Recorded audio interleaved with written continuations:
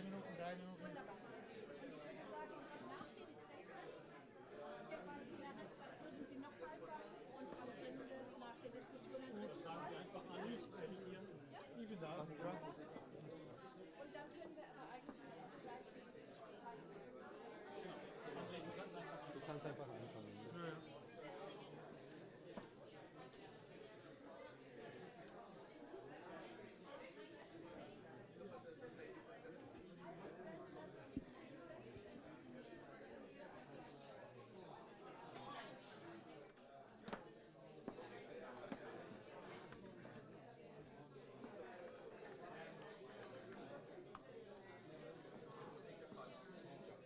Mm-hmm.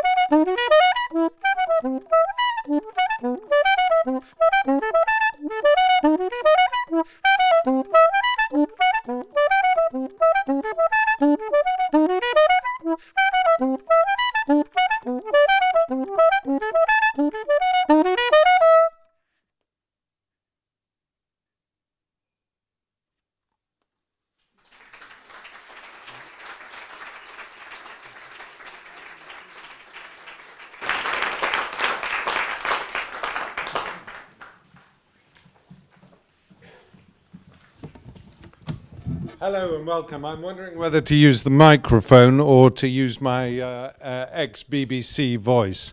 Uh, I'll probably use the microphone because it might been recorded. Is it working? Good. Hello. Hello and welcome. Um, my name is Misha Glenny. I am the new rector of the Institute. It's a great pleasure to be here on my first day. So, I come to the Institute for Human Sciences, and on my first day, I introduce a celebration, a consideration of Charles Taylor uh, to uh, recognize his 90th birthday. It can only go downhill from here. um, but uh, really, what a what a start. I feel deeply, deeply privileged. I was telling Charles earlier on that when I started my first job at uh, New Left Review, New Left Books, um, many, many years ago, the one philosopher who nobody criticized adversely at New Left Review was Charles Taylor. Um, everyone else was game for Perry Anderson and Tariq Ali but not Charles. And I'm finally meeting him, and uh, not only do I understand why he was not criticized, but I'm also told that at the IWM here, he is the one senior fellow who has come through the doors over the past 40 years, who every single member of staff absolutely adored. And uh, so, what a terrific honor it is for me to. Um, to recognize him here and to introduce him here and to introduce this evening's panel. With us is also Kelly Anderson, who is the charge d'affaires of the uh, Canadian Embassy here. Welcome to the IWM, Kelly. It's lovely to lovely to have you here, and above all, Charles, uh, Charles and Aube here with us. How fantastic is that? Um, before I uh, begin in any detail, let me tell you we've already heard from Andrij Prosorow, uh, who hails from Ukraine, of course, and uh, we'll be looking forward to listening to some more of him. But today is uh, a special and it's an, an intimate evening among friends. We have uh, Rajeev uh, Bhargava here with us um, and Hartmut Rosa next to me, long term intellectual companions of Charles Taylor. The evening is going to be moderated by the wonderful Elisabeth von Thadden, uh, who has come from Die Zeit in Hamburg. And uh, she's also a member of the IWM jury for the Milena Jesenská Fellowship, so obviously closely connected with us as well. Um, my special thanks goes to Hartmut um, because he has been uh, critical in initiating and organizing tomorrow's symposium, which uh, will take place uh, throughout the day. And let me also um, uh, uh, mention the participants, all of the participants at tomorrow's symposium, and a special thanks to the chair, uh, those people who are going to be chairing the panels, Paolo Costa, Rajeev, I've already mentioned, and Dilip. Is Dilip here? Dilip Gaonkar? Yes, there he is over there. Again, close friends and intellectual companions of Charles and friends of the IWM. Uh, thank you very much to our partner, the Max Weber Kolleg at the University of Erfurt, uh, represented by Bettina Hollstein tonight. Is Bettina here? There she is. Uh, Bettina, thank you.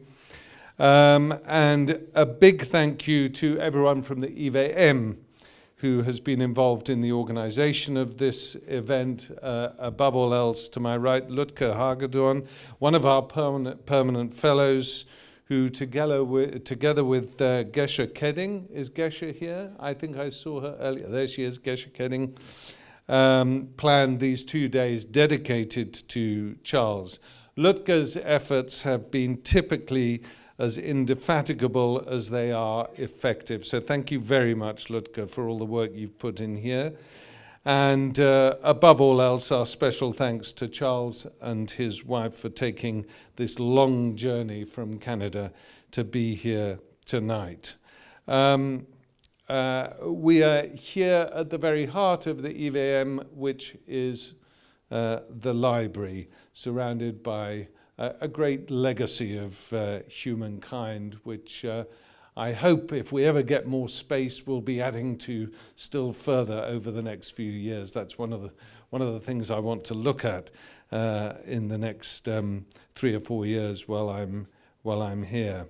So, Charles Taylor is a man who needs little introduction. His work is recognized around the world as groundbreaking, and he's inspired intellectuals uh, worldwide, awarded the prestigious John W. Kluge Prize for Achievement in the Study of Humanity by the Library of Congress. Um, his way of uh, posing existential questions that are at the core of our time and our humanity have inspired generations.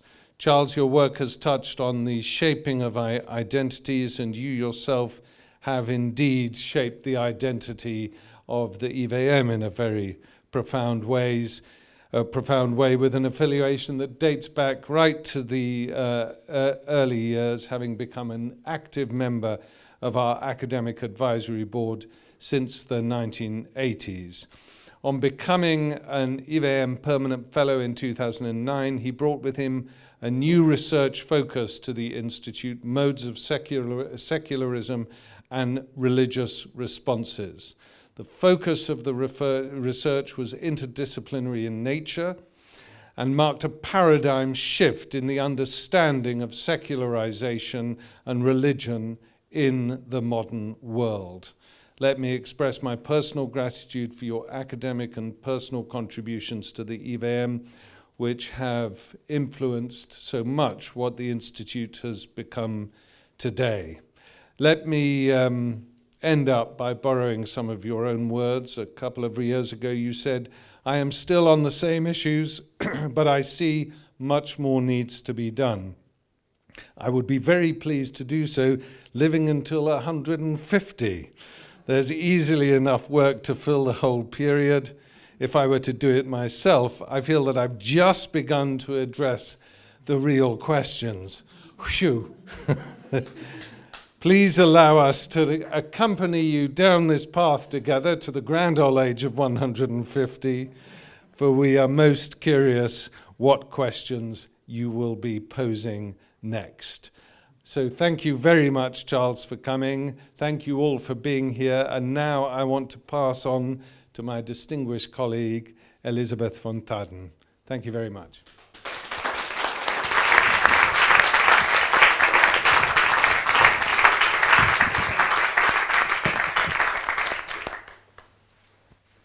Thank you so much, Misha Glenny, for your kind words. It seems to be birthday time today, first day of your presence here in the IWM. Welcome. We are all very much looking forward to having you here. 40th birthday of the IWM itself. And of course, most of all, first of all, we're here to celebrate the unbelievable 90th birthday of Charles Taylor.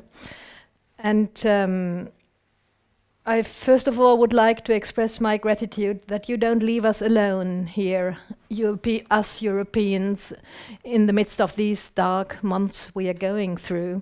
So it is a special pleasure to have you here in Vienna, in the midst of Europe. There couldn't be a better place to celebrate you and to help, um, to ask you once again for help in understanding the time we are going through. Um, I suppose you didn't choose your 90th birthday to be on the 5th of November last year, and you couldn't know what was going to happen. But it is helpful to have you here today, and I admit that when I came across the news about the Russian invasion to Ukraine, one of my first thoughts was, what would Charles Taylor say? Because this war doesn't really fit with all I've read in your work. And um, so I'm sure you will be open to questions um, tonight regarding the situation we are in and the mess we are in. So, nonetheless, nearly just as much as um, nearly uh, ju- nearly just as much as I would like to welcome you. Of course, I welcome these two b- uh, outstanding scholars um, who have both been long-time intellectual companions, both been deeply inspired by Charles Taylor's work, both ready to honor you tonight, Rajeev Bhargava and Hartmut Rosa. Rajeev, I would like you to be the first um, to honor Charles. Um, Rajeev Bhargava, Nehru University of Delhi, you all know him, political theorist, founding director of the Parekh Institute of Indian Thought, and known for a very good idea, which is Indian secularism, um, which you proposed us as the alternative to the mainstream Western misunderstandings, um, which goes the state must keep its distance from all religious institutions, you say, for the sake of the equally significant values of peace, dignity, and liberty. Um, I would be very happy if you started honoring Charles Taylor tonight, focusing on his philosophy uh, of and, and anthropology, his views on practical reasoning, and of course, please do so, the sources of the self and the secular age. So, please, the floor is yours. I think you can as well remain sitting. I think it's fine with the mic. Can you hear me at the back? Right? Okay. So uh, it's a real, real honor to be here uh, amongst all of you. Uh, congratulations, Misha. Uh, and uh, uh, it's a real, you know, it's terrific to be present here today to celebrate uh, Charles's 90th birthday. Uh, and thanks, Elisabeth, for your introduction. Um, Charles and I happened to be together in Oxford in, in the late 1970s. Since I was a mere postgraduate student and he the most prominent social and political theorist or philosopher at the university, our meeting could only have been accidental. But I believe it was also imminent, perhaps even destined. In the throes of Hegelian Marxism at that time, and I must say that I was, when I first went to Oxford, Misha, I spent all my time not sitting in the Oxford libraries, but hovering uh, around 15 Greek Street, where the national NLB uh, office was. Um, so, uh, so while I was sort of deeply immersed in Hegelian Marxism, I'd begun to read Hegel, completely unmindful of the fact that Charles Taylor had only a couple of years ago written the most influential book in English on the great German philosopher. Yet, the groundwork for the meeting of minds had already been prepared. Moreover, before I arrived in Oxford, I was also an amateur existentialist. By reading secondary literature on existentialism, I had become familiar with Husserl, Heidegger, Sartre, and Merleau-Ponty. For reasons I could not explain then, I was deeply attracted to Merleau-Ponty's philosophy. And at the end of the 1970s, I'd accumulated virtually every work of his that was published in English. And these were beautiful books uh, uh, published by Northwestern University. Uh, I don't know, Dilip might remember some of them. A few years later, at a Parisian cafe where we met, I learned that the great French philosopher had a major impact on Taylor's thinking.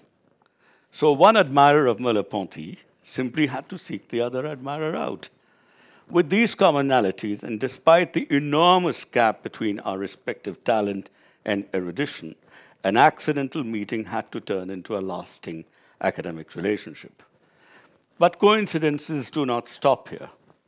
Much later, in the mid 90s, when we were already friends, I excitedly told him about Wilfred Cantwell Smith's Modern Islam in India and talked at length about the meaning and end of religion, this very important work of this Canadian uh, theologian and professor of uh, comparative religion.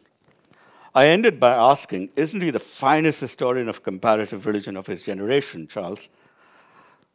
Taylor heard me patiently and then casually informed me that Cantwell Smith, who had taught him at, had taught him at McGill, and he had a huge influence on his own thinking about religion. So I discovered another person whom we both admired. These little anecdotes about figures of common admiration shouldn't mislead you. The fact is that in the intervening period, ideas flowed following the simple principle of gravity from a much higher plane to a lower one, from the master to the pupil, and the latter received them excitedly with much gratitude. This one sided flow of insights began with his brilliant initial chapters on Hegel that provided the wider cultural and intellectual background to the philosopher's thought. I mean, those were, you know, just mind blowing, that couple of uh, chapters. And from then on, it just continued, greatly helped by his visit in Delhi in 1981, after which we became lifelong friends. His entire work has left a permanent mark on my thinking, as well as on those uh, several friends who are sitting here. And there are good reasons why. For a start, Taylor's range of concerns takes one's breath away, cutting across specialist boundaries, drawing on multiple philosophical traditions. Taylor has written illuminatingly about a wide spectrum of philosophical topics moral theory, epistemology, philosophy of mind, philosophy of language, aesthetics, political theory, as well as history of ideas and the history of social and political thought. Uh, Taylor's legacy in the social sciences is profound. His persistent and quite definitive critique of positivism, it started way back, uh, you know, with his book on the explanation of behavior, is accompanied by a careful construal of a philosophical anthropology that underpins his own understanding of social science.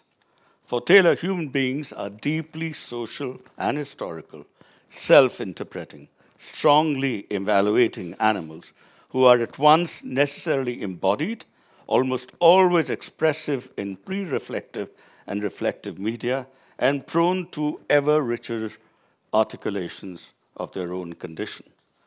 Equally powerful is his impact in moral and political philosophy. Consider his original and creative response to Isaiah Berlin's piece on freedom, where he argues that the real issue before us is not to choose between negative or positive liberty, but rather to articulate a vision of society that embodies a defensible view of freedom as self realization without falling into totalitarian excesses. Or his incisive critique of a liberal individualist conception of rights, in which he argues that it fails to acknowledge the broader ethical horizons of a plurality of values which underpin it and with which it must coexist. This critique, among other things, helped him develop his own very distinctive brand of deep pluralism, one suspicious of doctrines driven by a single principle.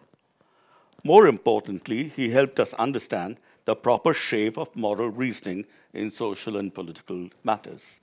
It is, he suggests, a form of practical reasoning, a reasoning in transitions, which aims to establish not that some position is correct absolutely, but rather that it is superior to some other plausible position within a certain context.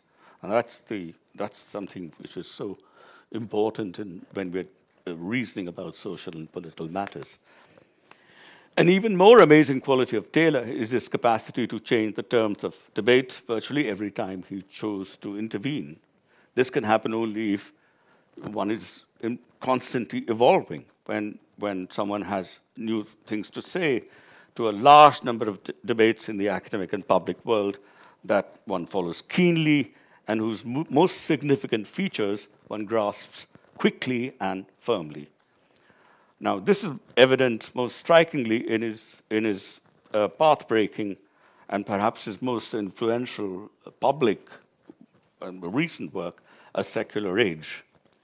The debate on secularity and secularism had hitherto focused on whether or not the state is or should be secular. That was secularity one, as he called it. So people argued that the US state was secular, Britain, with its establishment, is, but not quite, Iran, for ex- is decidedly not. India is differently so. Uh, or uh, the issue was uh, whether or not people in a society have or, or have or become secular, that is, turned away from God, stopped going to church, and whether social institutions and practices make reference to God or to the church. Much of Europe on this, on this uh, standard of secularity too uh, wasn't, uh, was secular, uh, but the UN is far more ambivalent. Uh, they say they are religious, maybe they're more secular than they think, but they certainly don't say that they are secular in this sense. But Taylor, and a lot of people have discussed these two uh, levels of secularity, but Taylor drew attention to a third, deeper sense of secularity, which he called secularity three, by shifting attention to the conditions of belief. Here is what he has to say.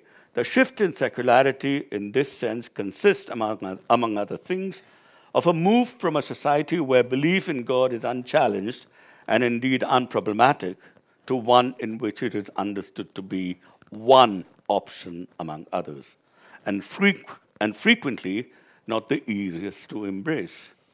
In this meaning, as against sense two, people, at least in the North Atlantic world, both the US and Canada and, and the whole of Europe, live in a secular age, in the sense that the fundamental framework which people believe uh,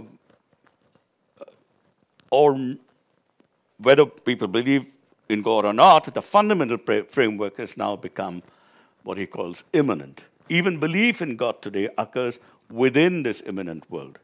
By shifting from secularity in the first two senses and speaking of an immanent framework that provides the background conditions of both belief and unbelief, Taylor has fundamentally altered the way we think about the secular. Yet the subtlety of his thought doesn't stop here. Even the immanent framework is open to two readings, according to Taylor one closed, the other open.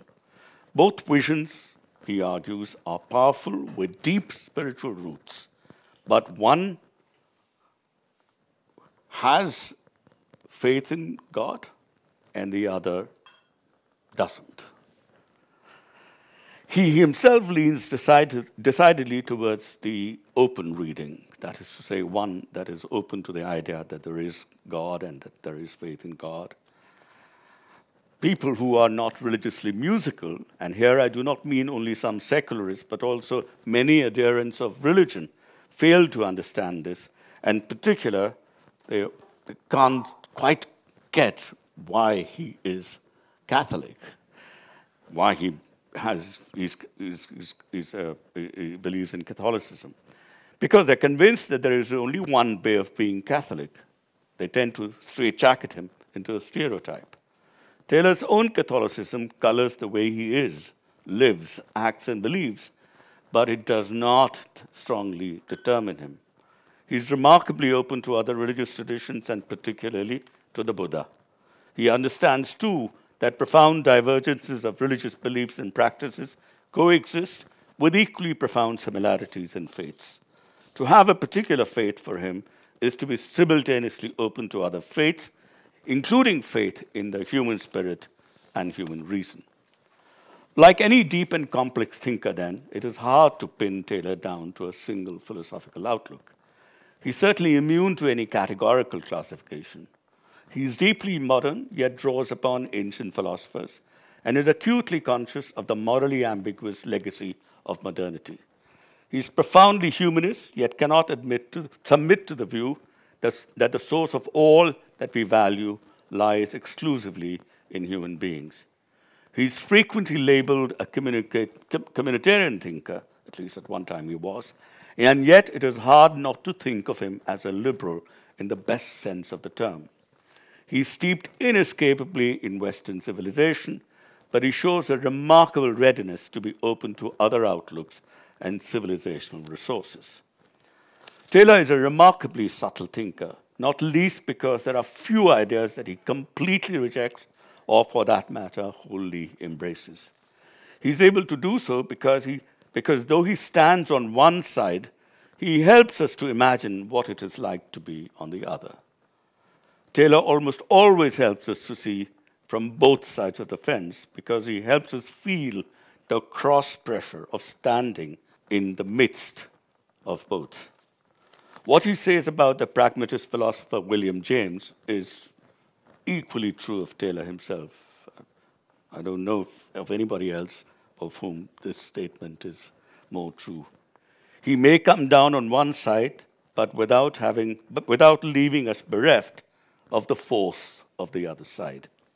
Commenting on James's view on the struggle between belief and unbelief in modern Western culture, and which Taylor believes is unlikely to end by a decisive victory in favor of one or the other, Taylor, says, Taylor says, James is our great philosopher of the cusp. He tells us more than anyone else what it's like to stand in that open space and feel the winds pulling you now here, now there. It needed someone who had been through a sharing experience of morbidity and had come out the other side. But it also needed someone of wide sympathy and extraordinary powers of phenomenological description and one who could feel and articulate the continuing um, standpoint of the open space within, the ambivalence within himself. Now, as I said, this is true not only of William James, but increasingly uh, of the entire philosophical outlook of Taylor, who forces us to catch both horns of a dilemma without fully compelling us to let go of any one. Richard Rorty once remarked that Charles Taylor is the Hegel of our times. This is only partly true. The similarities are there. Like Hegel, Taylor thinks big, connecting disparate things, bringing them together to construct a whole picture. And quite like Hegel, his philosophy is steeped in its own history, evident in his work on the nature of modern identity or secularity. Yes, yet Taylor's thinking departs significantly from Hegel's philosophical approach. For example, unlike Taylor, uh, unlike Hegel, Taylor is not a compulsive systematizer. And quite unlike him, he writes with remarkable lucidity. In direct contrast to Hegel, his philosophical style is genuinely conversational, decidedly and deeply pluralist, and always marked by a lack of you know, finality. Unlike Hegel, Taylor reaches out not only to the specialist, to, to people in his own philosophical circles, but to the wider public. But what separates him most from Hegel, particularly in his work in the last two decades, is his constant attempt to escape Eurocentricity, not by a superficial leaping towards other cultures, but by slowly shrinking the centrality and significance of his own, by putting his own world in its place. Isaiah Berlin once ended a short piece on Taylor by remarking that he's a noble gifted, and deeply interesting thinker, a man of total intellectual and moral sincerity and unswerving integrity. This could well have been the first sentence of the moral and intellectual assessment of one of the intellectual giants of our time. Thank you.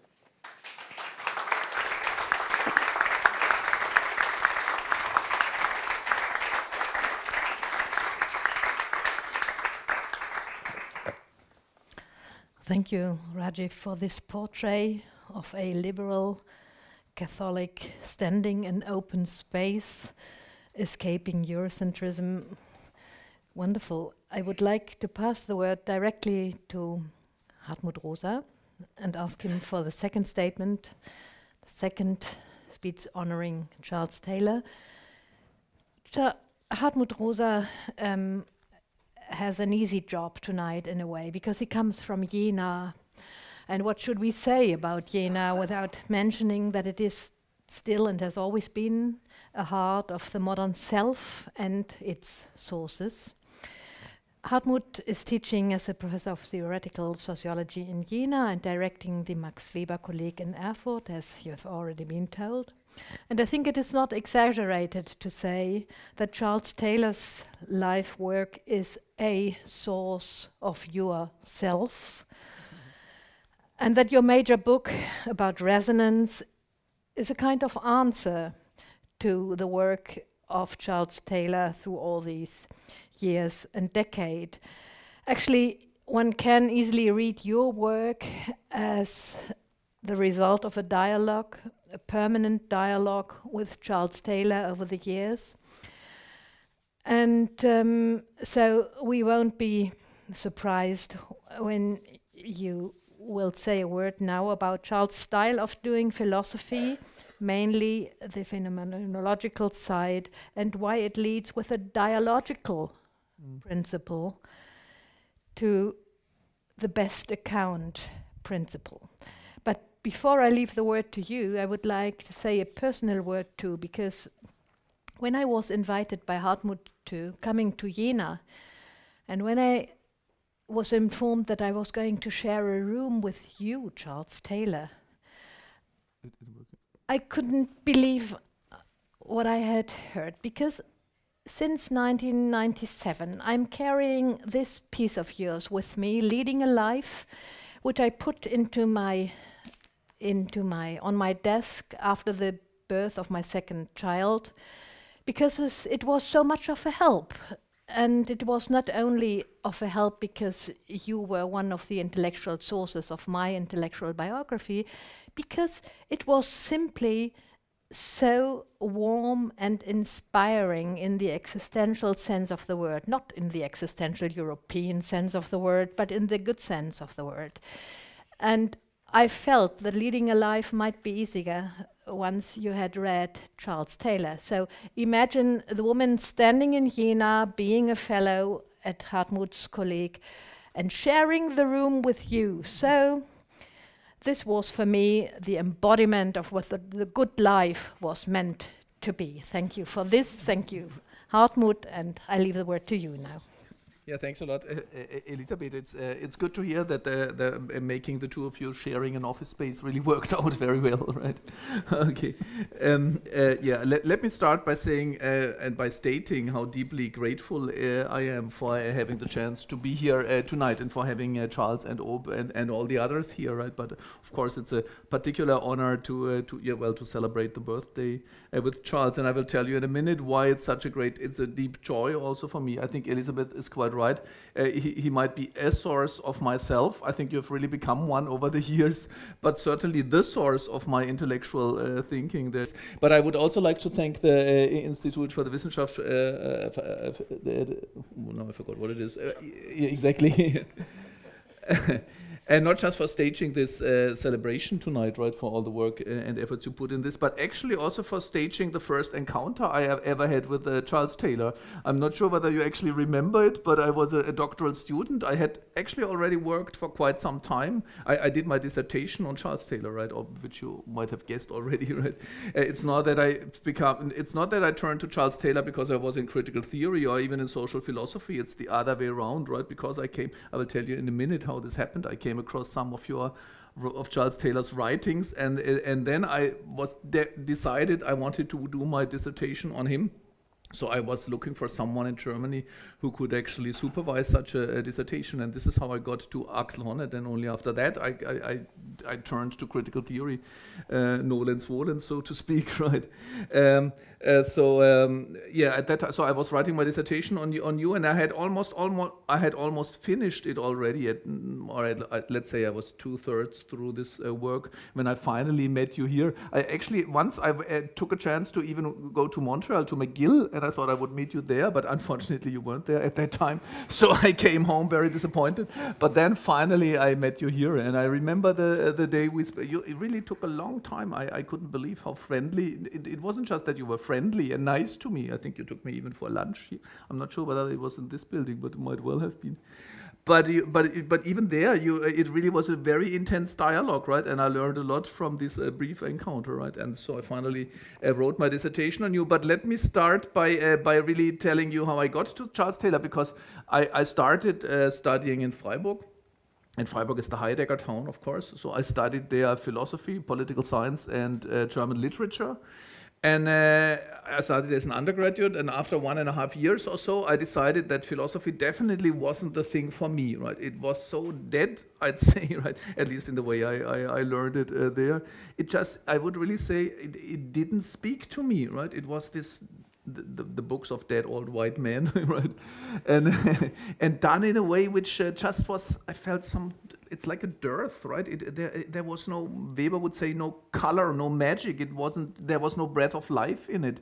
So I decided, well, if if you want to to really to come across the, the you know the secret meanings of life, the really valuable things, then better be a liter uh, in in, uh, in literary science, writing, studying the, the, the, the, writers and not the philosophers.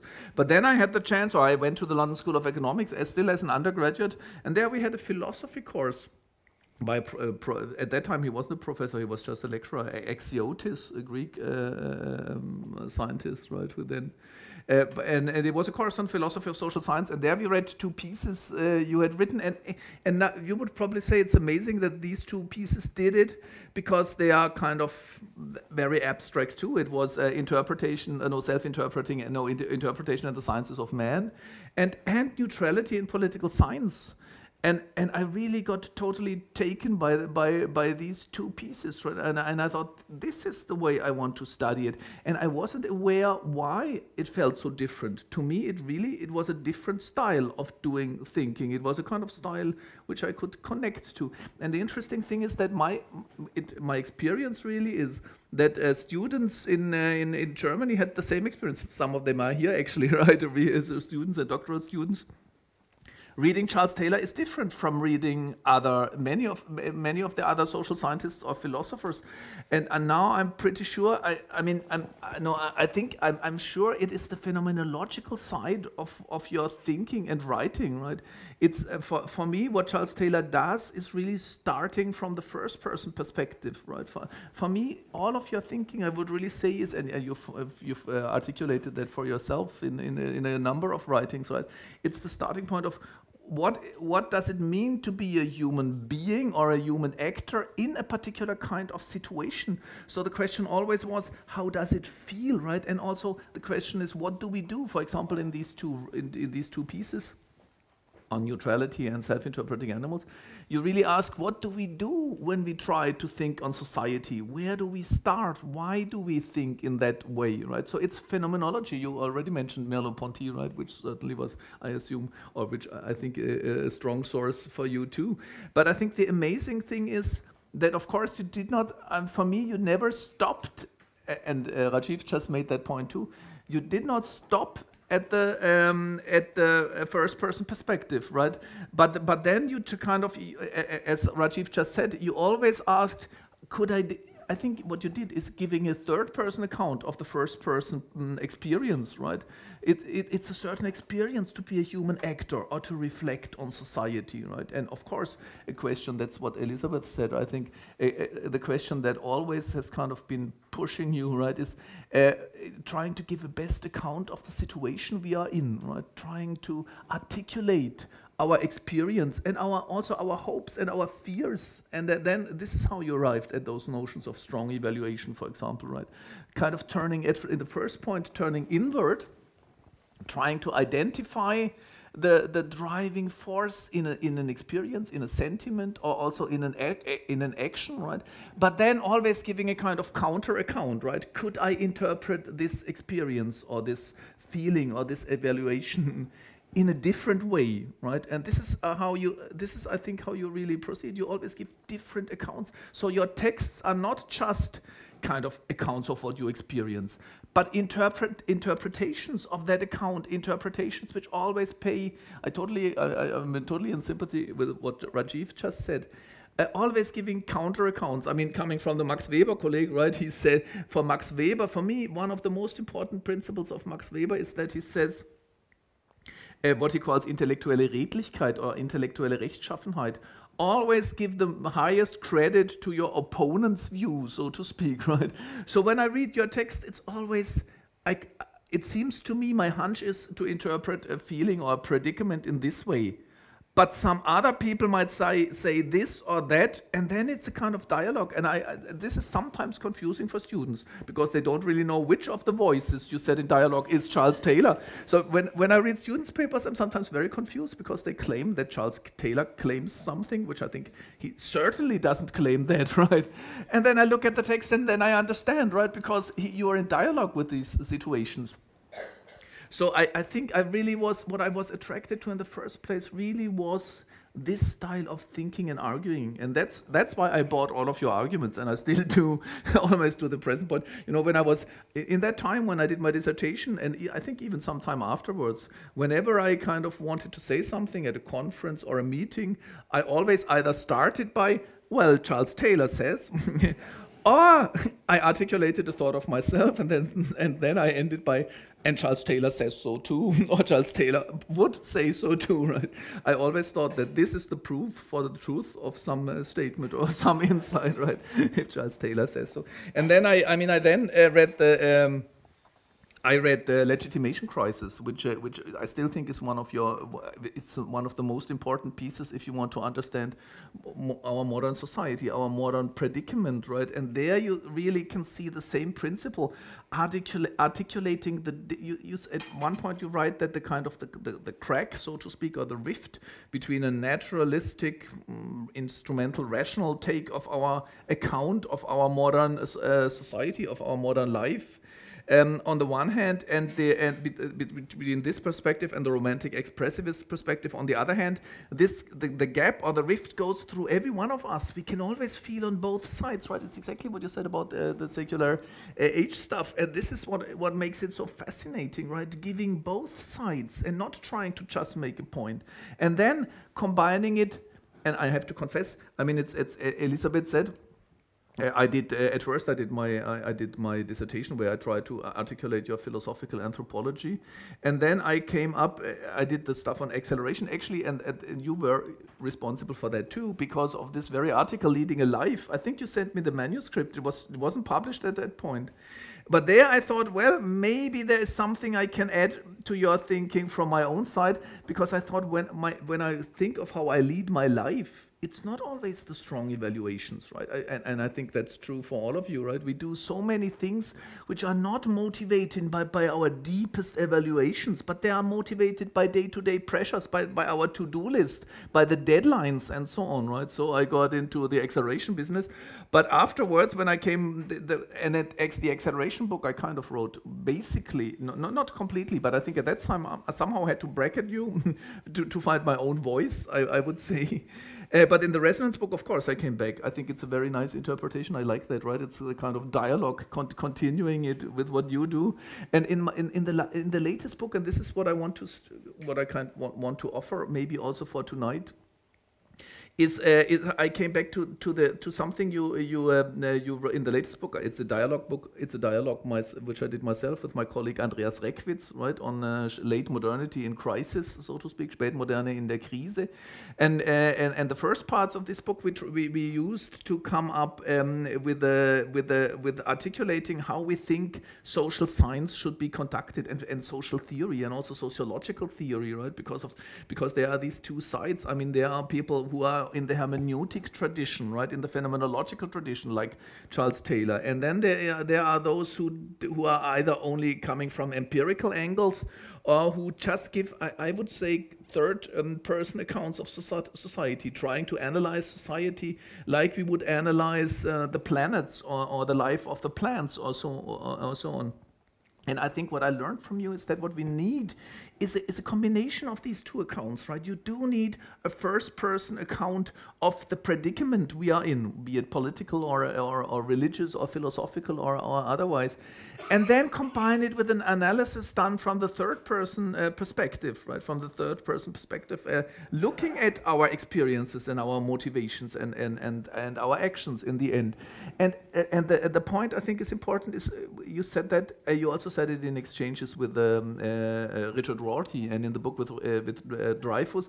But the, I think the, the, the most extensive elaboration is in Sources of the Self, where you say what we try to do is giving the best account, the best possible account we can give of our let's say of our situation right? And uh, of, uh, as human beings it depends on what the question is. Of democracy for example right? What you did with the Dilip and Craig uh, Calhoun um, is uh, trying to give the best the best giving the best account of the crisis of democracy we have here right? And if you want to give the best possible account you have to do it from a phenomenological perspective and from the perspective of a social scientist. And then you put it in dialogue. And I think that's what you always did, right? Putting it in dialogue, not just between the perspectives, but also with people of all sorts, with audiences all over the world. And I think you never shied away also from engaging, of course, in politics and the public and media, where you find where you where you create dialogue with people from all different sorts of uh, from of backgrounds, right? So so so for for me, the task of a social scientist, what I think we should do as social philosophers, as social scientists, is trying to give the best possible account of of existential situations. And I mean, it's no it's no question. Elisabeth has mentioned it right now, at least in Europe, but probably for all over the world. What we really need is trying to give the best possible account of this terrible situation we are in with the war in the Ukraine, which certainly affects the uh, IWM also um, uh, very deeply. So I hope we'll have a chance to really engage in dialogue and debate tonight. And as I said, it's a wonderful honor. It's a great honor for me and a wonderful occasion. Thanks a lot for being here, and I'm looking forward to our discussions.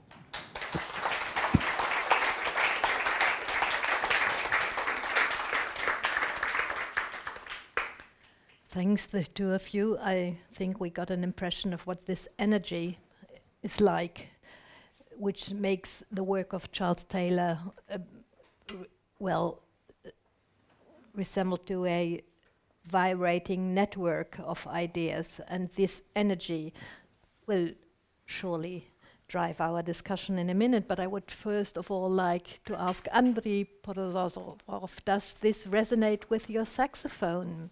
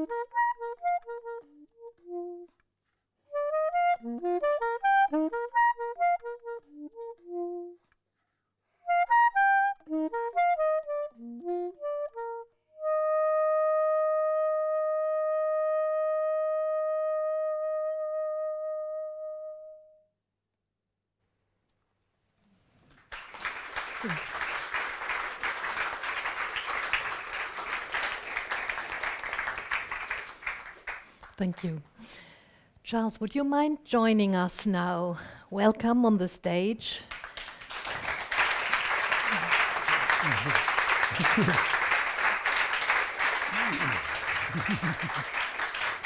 So I'm, I'm overwhelmed by this, these uh, wonderful statements of uh, it doesn't feel like that from the inside. And why doesn't it? Well, because uh, this business of being a hermeneutical philosopher, philosopher into this activity of articulating things that we haven't articulated yet. Sorry. I think that the nature of it is, I've tried to argue this in many places, that it never comes to a final conclusion which cannot be further developed and made better by being altered in a certain way. And you know, so it's uh, so you can't have this feeling, which a lot of the philosophers who taught me had, right? And the, this is, goes back to Oxford in the in the 50s, that they had the idea that there are certain things that are just right. I mean, you know, Descartes and Locke were just right. The information comes in and we work on it. And that's a very satisfying, personally satisfying uh, feeling to have, but I not only very much rebelled against their ideas, but, but I would put myself in a situation because I, what I found really helpful in this rebellion was precisely the phenomenological, and I can't stress more Merleau-Ponty, uh, it just hit me, that um, you never can get to that position, we figured it all out. That's it, you know? And so, I always think, uh, yeah, and later on somebody's going to come along and say, but you've forgotten this. You know. yeah, I suppose I did really. No, that's you know, so. It's um, it's a kind of uncomfortable position in some ways, but uh, the comfort you get from it is that maybe I've made this little step forward, right? and, and other people will be able to benefit from that, and uh, so the the debate will go on. So you get your satisfaction from having these small steps, but you just can never recreate that feeling that I, you know. Now, is that really true? Am I lying to myself when I say that? Yeah, partly. Uh, partly because what I do feel I've left behind me is these methodologies that promise that kind of finality, right? And uh, of course, when you get to the issue of philosophical anthropology, the, the methodologies that do promise that are those that think that the methods of post Galilean natural science are sufficient to understand human beings totally. And so, I mean, I really think on this issue, I think, like my opponents do on every issue, that that really is wrong. I mean, because precisely there is this dimension of trying to understand what we're doing, what we're aiming at, why we feel this way, why we want to go this way, where you just, you know, you can't get to the final point where it's just right, but you, it's a perpetual search. So, I mean, it follows from all that that the people that have meant a great deal to me as interlocutors are people who are on this kind of search. And as I sit here in this room where I've been many times and in many discussions and you know for over the years, uh, I feel once more the atmosphere of being in this world, engaged in this dialogue, and, and we've had many, many really interesting ones in this very room. it feels a little bit different, though. I mean, something. Are there more books? No, but somehow. I, will have to articulate this at some point. I can't quite do it now. But so I feel the great, immense uh, gratitude to all the people that I've been uh, dialoguing with, which are here and and have been in this in this institution, that have really said something that pulls me, you know, in that direction. Uh, I mean, think particularly, I just uh, talk about Hartmut's contribution that, you know, the, the issue of ethics, the same kind of thing arises there. There are some theorists that think that we can arrive at certainty about certain rules of interhuman uh, behavior and so on. And uh, there are people very much influenced by Kant, their roles, and I think Habermas is a little bit like this too. And but what they leave out is that in human ethical thinking, it's not just a matter of what we can do to each other or what we owe to each other. There always arises also a question of what human beings are about. What is real human fulfillment? What, what is really a full human life, right? And that's the area where we're never going to get the absolutely final say, but we get tremendously fruitful ideas, like Hartmut's notion of resonance, for instance, right? which I, you know, I hadn't thought about that in that way before, but I thought that we need this more, more discourse which opens up this set of issues and so on, and, and you know, find in this notion of resonance something that can help that, which you know, hasn't been used up to now. And then I have to say about Rajeev that is very important. Our discussions have had a very important influence on, well, my my political action in Quebec because we've had this tremendous fight in Quebec against a very narrow mode of legislation, which is discriminatory and so on. So the it started off with discussions about secularism, but in India or in, up in Kasauli, they're looking down on uh, the plain and the principles behind that, art, that Rajeev articulated about Indian secularism, the way of putting it, I carried back, and then we wrote this report. We had a, the government was foolish or wise enough to name a sociologist and myself to a commission to look into this issue, and we had to redefine laïcité, as it is in French, secularism, and we drew on these discussions. So, in a strange way, ideas that were worked out in India begin to be fruitful or be reacted against in, in Quebec. and all this eh, involves newly defining what is a good way of living, in this case, you know, the whole issue of, of how different faiths can coexist in, in society, and the, in this case, the rules for that.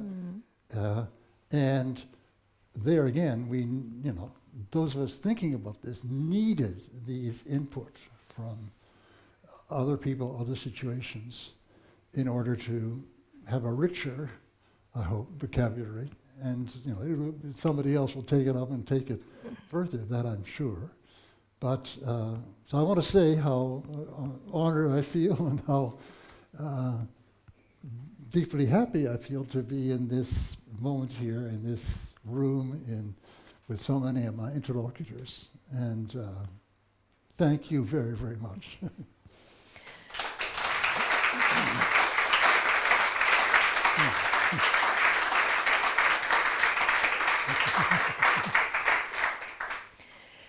Please let me come back to a point all the three of you have been stressing now.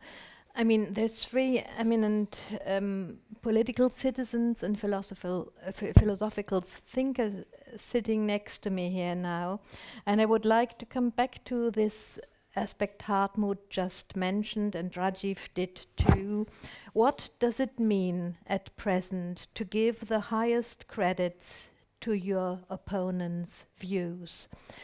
We are in a situation which is nearly uncomparable. Hmm. We thought we had left all that behind, and now we are back in the history of war and terror, which hmm. Agnes Heller in these rooms here has characterized as the typical situation of Europe's history hmm. terror and war. We are back into that. So, please, Charles, just share your ideas with us. What does it mean to find a richer vocabulary, not only to say what we think, where the goods are and the bad ones. Please tell us what does it mean to give the highest credits to your opponent's views now in the new European war? And I would like to hear your contributions to the same question Yeah. too. Well, I think um, one way of trying to answer this is to take up one of the topics I was mentioning, which is what it is to lead a really full human life. Right? What's the you know the good life, is what they say. In other words, I'm thinking a little bit more in the tradition of Plato and Aristotle than I am of Kant and Bentham and so on. Right? And I think something very important has come on the scene in the last, uh, in the 20th and 21st century about this, that, and something that's been very powerfully uh, affected me, is that there is a enrichment of human life which comes from really dialoguing with and understanding very different people that you know actuated by very different deep motivations. That uh, that itself, that life of exchange itself, is something that greatly enriches you. Right? So uh, now this is also something which is very frightening to some people, right, who feel some deep threat of uh, bits of their identity that they value very much, and they feel very much threatened by this. And it's one of these terrible, politically speaking, it's one of these really difficult issues. How you, you know, I stand on one side of this debate, but I'm not frightened, but on the contrary. And how do you reach out? And that I haven't, uh, you know, if I had the answer to that, I've the human race would be, you know, if we had the answer, would be really out of a very difficult situation. But there, uh, um, we can look on this fact as a very potentially positive one. That a great many of the young people today respond to this when you talk about dialoguing with very different people. They really respond to this. If I can double back, this is one of the things that Will Smith really taught me, right? That I was doing this honors history degree at McGill, and I had to get a elective, and I looked around and I saw comparative religion by Wilfred Cantwell Smith, and so I'd never heard of him, but I took the course. And this is extraordinary because he didn't have great rhetoric. He, he wore a gown, which nobody else did at McGill at that point. And he'd walk up and down, and he'd try to create for you what it was to be a Buddhist, what it was to be Muslim, know, particularly Muslim because he's this field of expertise. And it was just riveting for me. Right? And I began to see how uh, a terribly important part of me and my, you know, search in life to be able to make contact with these very, very different spiritualities, right? So, well, I think a lot of people, particularly younger people today, though they wouldn't necessarily articulate it this way, feel that way. That is, very different people, very different ideas, very different spiritual traditions. They want to not, not necessarily convert to them. They want to understand them, and they feel that they're enriched if they can have this kind of dialogue. And so, it, what we at present see in our Western societies is a kind of battle between people who are terribly threatened by these different views, terribly threatened, uh, and reacting that way. And the, some pretty terrible demagogues. I mean, there are two kinds. There are people who are too self absorbed to understand what they're doing, like Trump. And there are people like, I think, nine tenths of the Republicans in the Senate who do understand what they're doing, but they're willing to sell their souls for reelection. Uh, but nevertheless, they want to fight against this, and so they whip up this fear. And they take anyone who's trying to take the other position and, you know, caricature what they're doing is undermining everything that we hold dear, et cetera, et cetera. We have this terrible battle. And the, in the end, see, this is, this is a fight about this issue of the rules that should govern our existing together, but it's being partly determined by that other Department of Ethics, people's understanding of what re- really good human life is, right? Because those who understand that in the way I've been describing are going to be all on this side, fighting against discrimination. And those who don't can easily be roped into, recruited by the, the other side. So this is, you know, these, these terribly important issues are there, and on one hand, you feel sometimes powerless to uh, affect the uh, outcomes that the, what I consider the good side wins. On the other hand, if you stand back and look at it, there are things moving, particularly in the younger generation, which give you real grounds for, for hope. Right? So, I mean, uh, I'm trying to say it's like that this whole issue of trying to understand what a good human life is is actually tremendously important in its possible political historical consequences. Right? And anyway, that's. what about you, Rajeev uh, or Hartmut? You, you were ready to. Sure. Well, just a couple of uh, things. Uh, your question about, and of course, this is Charles's methodology in a certain sense, which Hartmut emphasized, that dialogue with the opponent by understanding uh, in the best possible way, uh, sort of stepping into his shoes and walking with his shoes on for a bit. I mean, I, I, I look at, you know, at what is happening in India, and I imagine uh, sometimes, you know, is it possible for me to talk to my opponents like that? Can I really understand all these people who are lynching others, who are uh, destroying everything around us, every single institution, breaking down rule of law? Is it, uh, can I enter their shoes? And uh, sadly, my answer today is I can't. Uh, but when I think harder, I feel that people like us missed an opportunity earlier. There was a time when we could have had a dialogue. Uh, there was a time when these were others and they were opponents, but they were not mm-hmm. enemies yet. And even if we don't see them as enemies, they see, they see us as enemies. And there is nothing we can do to change it. But there was a time, there was a moment of transition when they were not enemies yet. And we could have grabbed the opportunity then and talked to them, but we didn't. So there is always an opening, a hermeneutic opening. And we really need uh, to have the judgment to, to, to seize to seize it, to seize that chance. And it's unfortunately it's up to in any dialogue.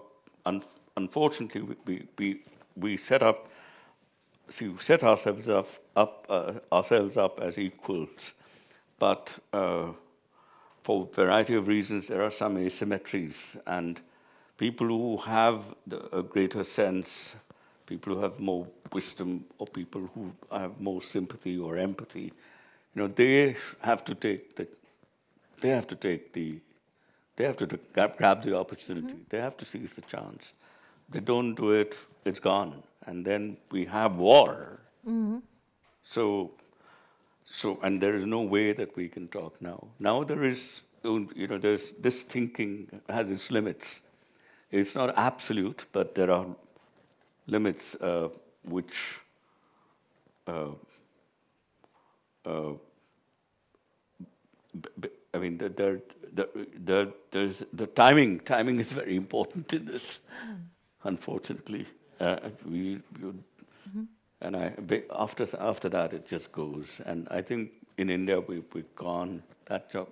I don't know about Putin and mm -hmm. and and uh, Ukraine. I mean, maybe maybe we we've lost the chance there too it seems to me sometimes that you know there was a chance when we could have done something, and now we are facing this very you know situation full of possibility of great evil.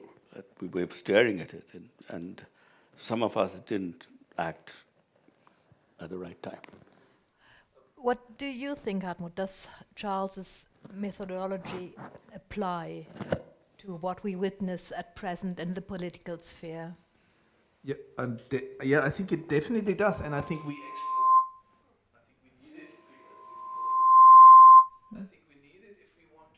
try to make sense uh, out of the situation. I mean, it, it, the situation is very bleak anyway. I mean, it's politically bleak, but it's also philosophically bleak. When when I listen to, to what what uh, actually to the U.S. case, it looks doesn't look too too great, right? But uh, India, you just said we are gone, we we're beyond the chance. And I think it's the same. Of course, it's the same in Europe. I would say. I personally believe that there was a chance in Europe and we blew it. I, I would say. But this is a kind of question of political judgment. So, so I think I, I would really suggest that we distinguish between the role of politicians and philosophers. I mean, we, we might think in the one uh, way, way or in the others, all of us, right? But it's two different businesses, right? And as politicians, you are now forced to act, right? And, and that's obvious, right? But as a philosopher, I think we should really try to actually apply Charles' methodology. And I think in one sense, you get, I, that's how I would read the situation, you get, we get a strong confirmation of what Charles says. He says, you know, normally in, in our battles, in the political battles of the last couple of years, like are you in favor of vaccination or against it, or for higher wages or lower wages, or I don't know, all, all of these battles we had, a lot of people I think it did not really affect our strong evaluations, right? It affected a, a, lot of our political preferences. But I mean, that's what you say in Sources of the Self. We forgot about strong evaluations. And I think the war does remind us, I mean, it reminds me, I really, I think I realized that my generation, I myself was so deeply convinced that we would never have war again, right? That it was so obvious. I'm still a pacifist, I have to say, right? But I think sometimes we have to go, maybe, maybe, maybe we have sometimes to go beyond it politically, but, uh, but let, let's leave that aside. But what we realize I think what we can observe is that there are very strong evaluations and they are now mm-hmm. violated. And this is why people react so strongly, right? I mean, I think a lot of people have now turned around, right? And they want to go to war or send weapons. That's because our deepest strong evaluations are violated, right? I, I, I think we really see that we do have some, right? The, because it, it really, it, it, mm. it, it shakes our foundations. I mean, that's, that's also something you say, right? When, uh, when, when, you, when you kind of hit away uh, the, the deepest, uh, the moral map, so to speak, then you feel utterly lost. And I think that's what, I mean, it feels like this for me, right? So I think, and then something happens which Charles writes a lot, and, and this is, I think it's a, it's a good panel, right, to talk about it.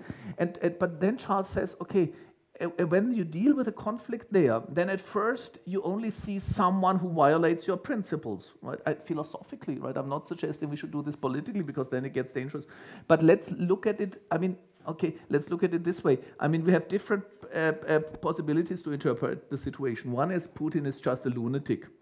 I mean that might be that might be somehow consoling, but I'm probably it's not deep enough philosophically. There are other options, right?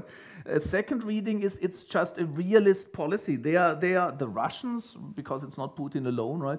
Are just following geostrategical interests uh, consciously violating their own strong evaluations. Right? That's possible. Right? That's a possible reading. But the most, the, the, the most um, confusing or, or, or, or difficult reading would be what Charles suggests. I would say let's test at least whether maybe it's not just someone who is just evil, right? Plain evil, uh, violating our deepest strong evaluations, but maybe there are other strong evaluations involved which we don't see right now. I mean, I know this is a dangerous reading. I would not say this in a political context. I would get killed anyway, right? So I, I'm not happy that it's always dreamed everything because we lose, we somehow lose spaces where we can think. But as philosophers, having a chance of being together here, let, let me finish, right? having a chance to try to do this, I think let's try it, right? So, the, so what Charles Taylor suggests is let's test whether maybe there are other strong evaluations, and we would have to carve them out carefully, right, to see them.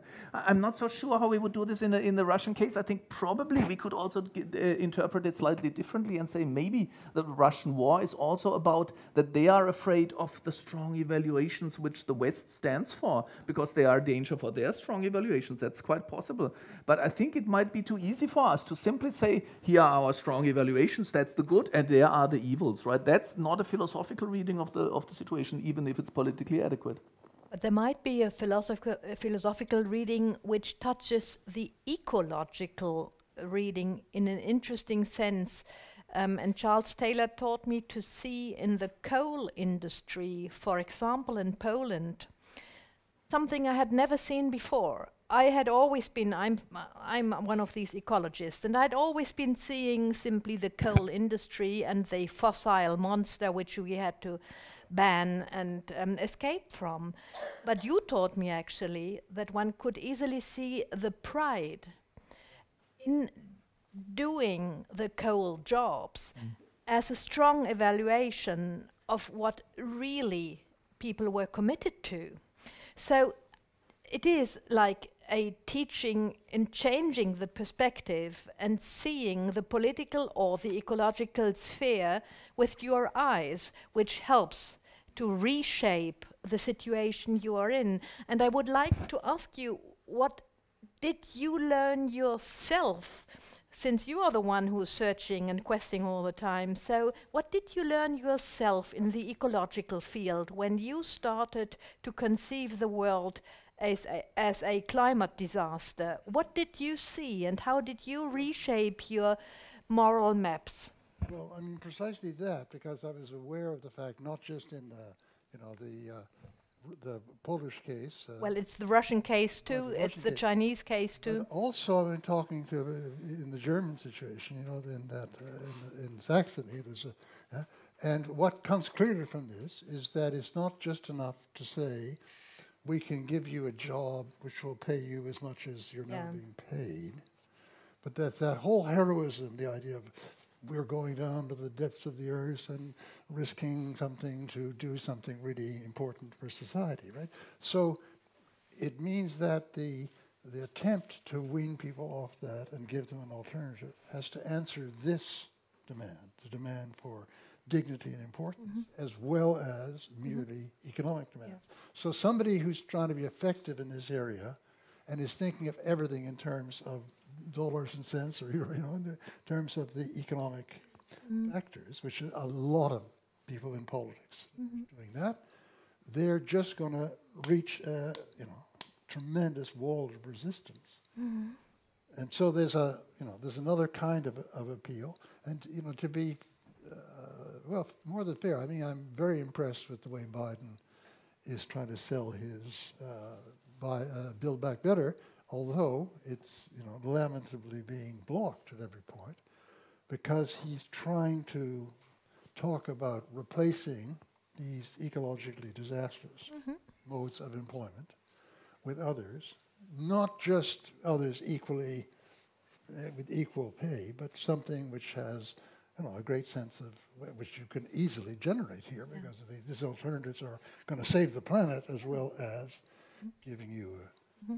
A job, right? So, I mean, this kind of insight is directly relevant to to your politics. I do not know whether we are running out of time, but I don't care actually. I would um, because I, I have to I have to ask uh, another maybe a last question. Um, which is closely linked to what we've been saying so far. In I read in in your work, Charles, that there's always a third question, not only the first one, what we should think and how we should live, but what to do about our time. So I would very much like to know what does this new European war contribute to reshaping the question what we are going to do with our time. I'm surrounded by students who don't stop asking that question. And I would very much like you to answer the question because once upon a time you were a child which was grown up after the Second World War. And um, so you have a lot of experience we do not have how to deal with wars um, and how to reshape your life um, and to reshape the question of what you're going to do. Yeah, well, maybe a good way to start thinking about this is to look at the present war, eh, because in some ways, I mean, I feel appalled about it for all sorts of reasons and that we all understand, but I also feel appalled about it because, in some sense, it was so unnecessary. So, see, there there were the makings in the relation between Russia and Ukraine after '91. There was a situation which could have recreated a new kind Rajeev of said, yeah. new kind of friendship. Mm. It would have to be equal and not not subordinated, which is what's being proposed now by Putin. And uh, I visited actually in '91 uh, Ukraine, and I talked to a lot of people. And the present Ukrainian consciousness wasn't there yet. I mean, there's a lot of Russian speakers, particularly in the east. They, you know, they were didn't know how well they would get on with in the state with the Ukrainian speakers, and there was that sort of thing. And okay, from one point of view, when you look at this, you think it, the Russians are insane. They created Ukrainian nationalism by constantly attacking. Constantly attack- i- i- and then you think forward, right? Now, if Putin doesn't keep total control over information in Russia, his thing will break down because there are people who have relations one place and the other. If it gets through what's going on, uh, you know, the Russophone people in, let's say, Kiev or, or Kharkiv are being killed. Killed. I mean, the, the supposed reason is that they're being killed by Nazis and they're being actually killed by artillery that we Russians are uh, sending out there. If you allowed some kind of communication here, the thing would break down. And that's why Putin is forced to threaten with 15 years in prison anybody who gets up and says even it's a war or it's an invasion. No, you know, yet for yeah, no, no, no, it's not. A, it's not a war, and so you can see here how, uh, in a certain sense, it, it didn't need to be this way unless you had people really captured by a dream that is both totally unreal and, in a certain sense, deeply inhuman, right? Because, and it's that dream, the dream of recreating, you know, that Tsar was, had one great title. He was the autocrat of all the Russias, great, little, and white, right? And in that order, in that, right? And uh, Putin has this desire to be the, if you like, the kleptocrat of all the Russias, great, little, and white. And this, so there's something so deeply illusion-filled and also very ugly about this, right? So, uh, and you, we, are, there's no way out of this humanly without that being somehow defeated, right? Defeated within Russia. I mean, it would be best if it could get through to more Russians what's actually going on, but, but it, you know, it has to be defeated. So there, there are, in other words, there are some uh, understandings of the good life and the good political life, which are, uh, some respects, illusion-filled and deeply inhuman, and they don't, you know, they can't be treated on the same footing mm-hmm. as the genuine difference between someone who says, "Well, I'm, you know, I have the makings of a great pianist, and that's what I want to do," and somebody else says, "I'm, you know, I'm a philosopher, and that's what I'm going to do."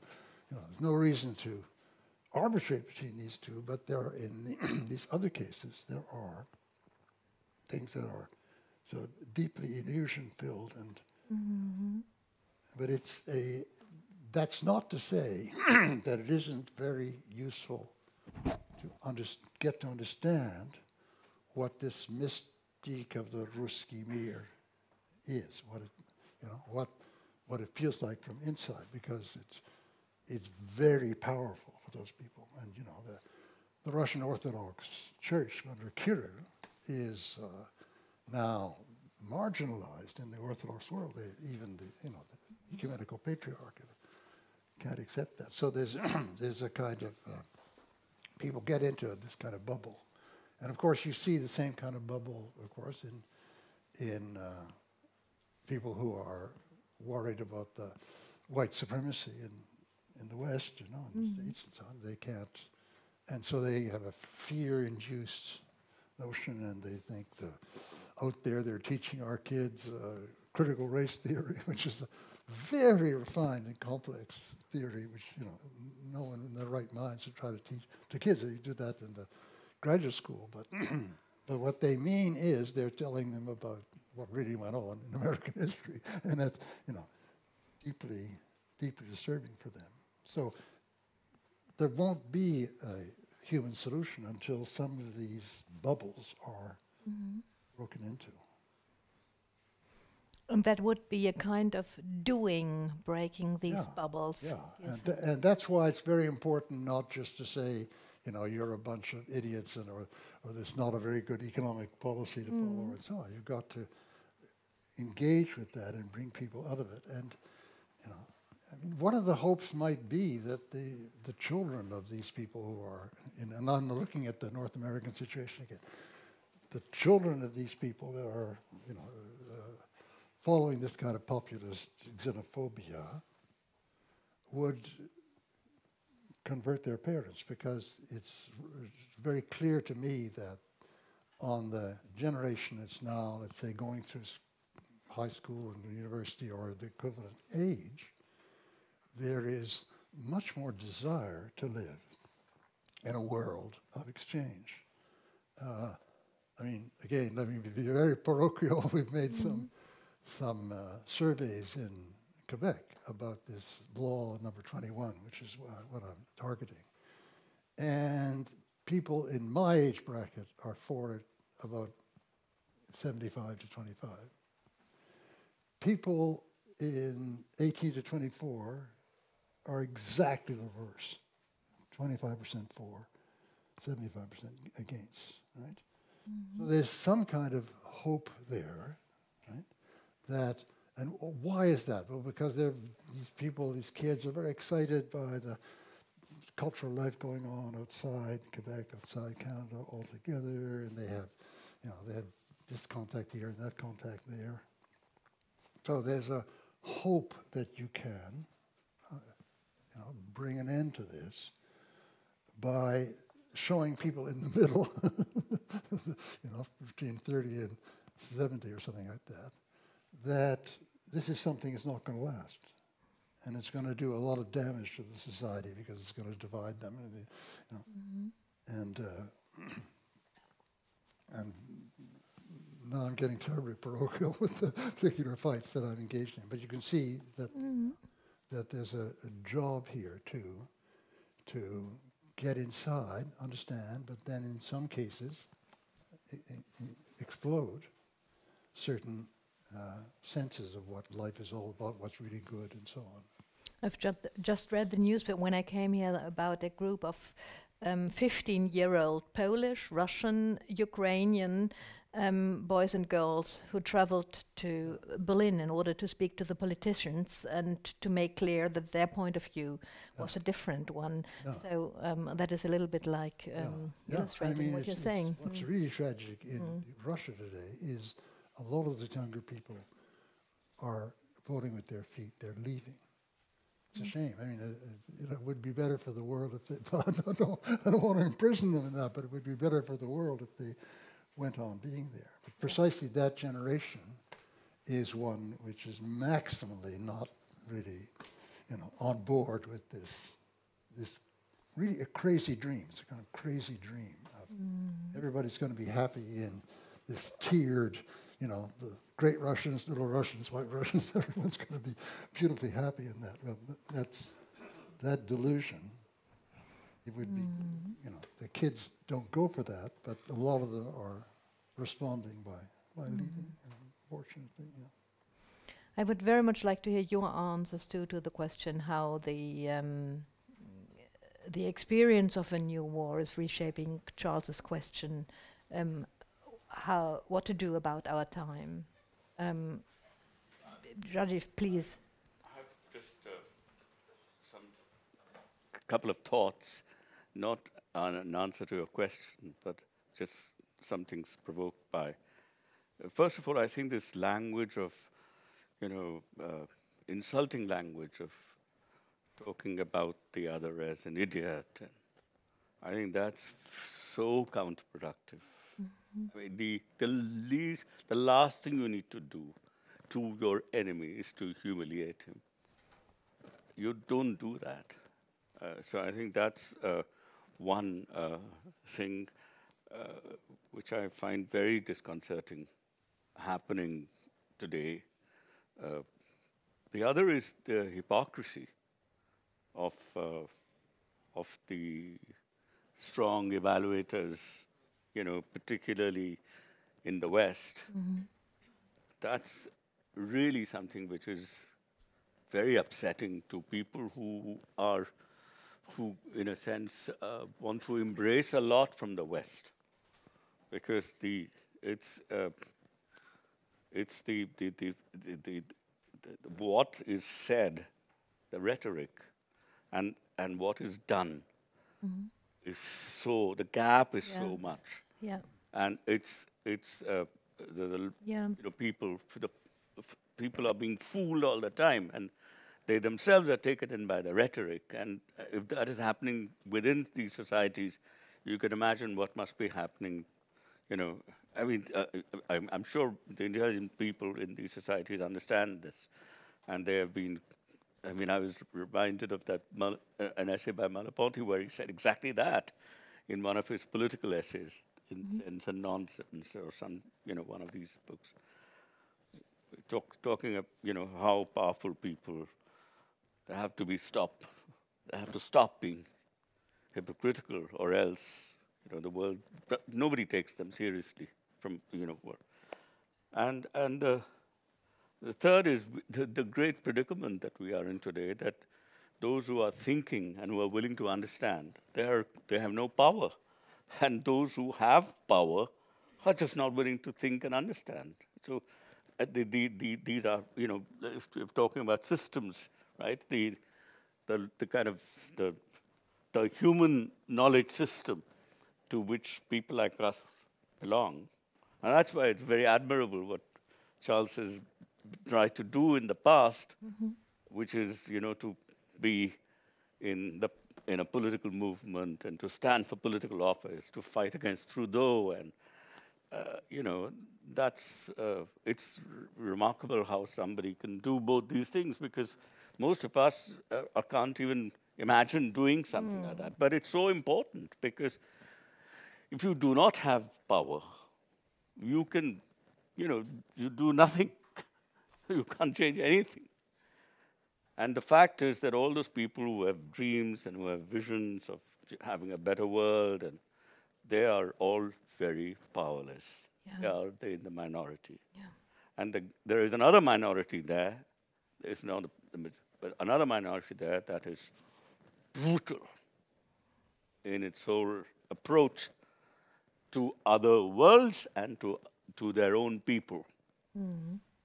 And uh, I think that is, in the last 20 years, this has become a very big thing. And it's been developing for a long time, fed by, by, by huge deal of, you know, capital and all sorts of research institutes being, you know, coming up which uh, make this research institute into some little, Um, you know, dwarf in, comparison to those giants funded by the multinationals and by the Koch brothers. And I, I don't know how we can deal with this. Uh, we, I just don't know. I mean, and we can the other, the last one last. I mean, question, yeah. kick that some people get out of kicking others.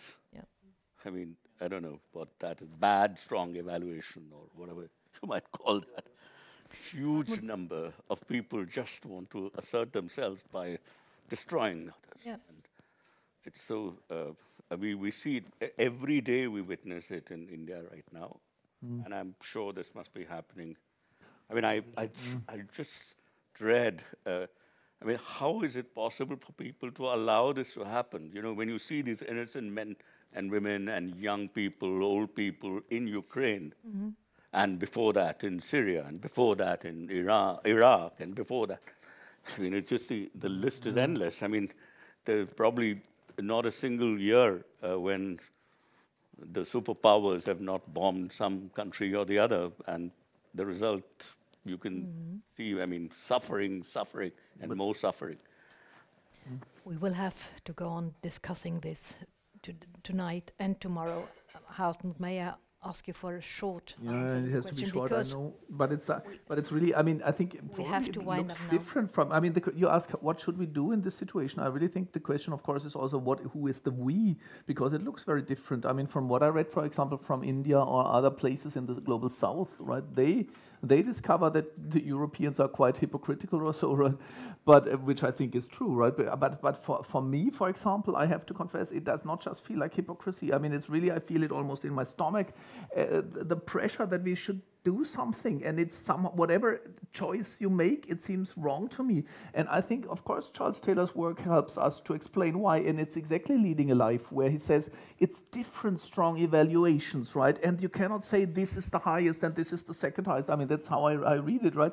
It has to be carefully balanced, and sometimes there are predicaments where our deepest convictions turn counter each other, and this is exactly what I feel because the the one strongest inclination or conviction I always had is that war is wrong. I mean, I, when I was a child, I read every uh, uh, uh, accessible book about war, about Stalingrad, one after the other. It was my deepest experience, I would say, probably deeper than real world experiences. And I drew from this the conclusion that war is always wrong. Dropping bombs on people just is not a solution to any conflict.